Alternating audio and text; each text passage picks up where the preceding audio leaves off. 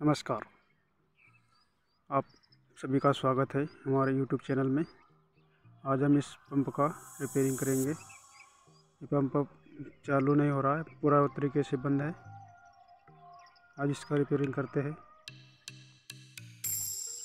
ये एक H P की पनडब्बी मोटर है। ये चालू नहीं हो रही है। सबसे पहले इसको, इसके तार निकाल के हम डायरेक्ट चेक करेंगे।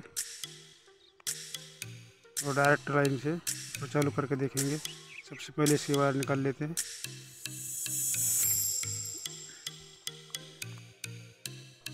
क्योंकि बहुत बार क्या होता है कि मोटर सही स्टार्ट होने के बाद भी पैनल बॉक्स में गड़बड़ी होने से चालू नहीं होती मोटर तो आज हम चेक करेंगे पैनल बॉक्स में गड़बड़ी है या मोटर में दिक्कत है। सबसे तो पहले हम इसको थ्री लैंप से टेस्ट कर लेंगे। कंटिन्यूटी बता रहा है कि नहीं बता रहा।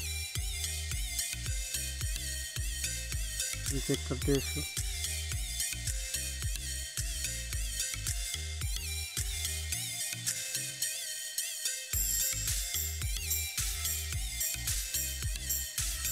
ये कंटिन्यूटी बता रहा है, पीला और नीले के साथ में। लाल और नीले के साथ में भी बता रहा है। इसका मतलब मोटर सही बिल्कुल ओके है, और बॉडी अर्थ भी नहीं है। इसका मतलब वो मोटर पूरी ओके है। बॉडी अर्थ भी नहीं दिखा रहा। तो इसका पैनल बॉक्स में ही दिक्कत है। इसको पैनल बॉक्स को खोल लेते हैं हम पहले। मोटर को पहले डायरेक्ट लाइन से चेक करके देखते हैं। छत्तीस एम का कंडेंसर है, इसमें छत्तीस का कंडेंसर लगेगा। तो एक वायर कंडेंसर का लाल के साथ में और एक वायर पीले के साथ में करेंगे। और फिर इसको डायरेक्ट लाइन से एक नीले के साथ कामन और एक रेड के साथ। ये चालू करके देखेंगे अपन। मोटर चालू हो गई। इसका मतलब पैनल बॉक्स में ही दिक्कत है।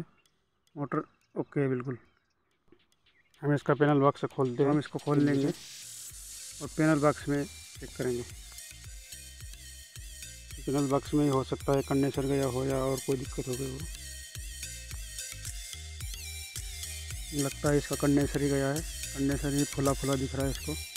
सबसे पहले हम इस कंडेंसर को खोल लेते हैं। इसकी वायर भी निकाल लेते हैं कंडेंसर की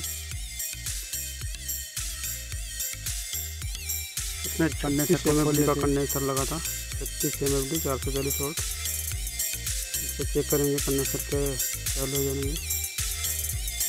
कंडेंसर बिल्कुल भी नहीं बता रहा कंडेंसर गया है इसका मतलब।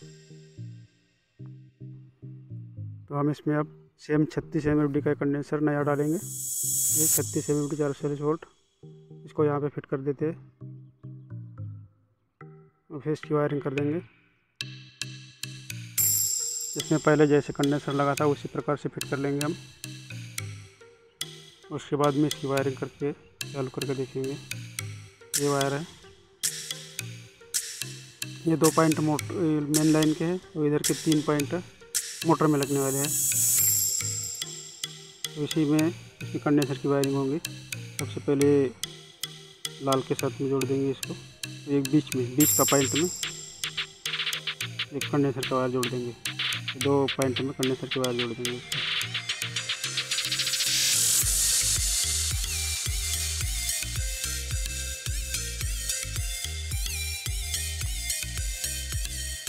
इसकी। वायरिंग होने के बाद हम चेक कर लेंगे और इसको फिट कर देंगे, बाकी दूसरा कोई दिक्कत नहीं इसमें। पूरा ओके है इसको हम फिट कर देते हैं और फिर बाद में वायरिंग कर देंगे। इसको पूरे चारों स्क्रू लगा के हम फिट कर देते हैं।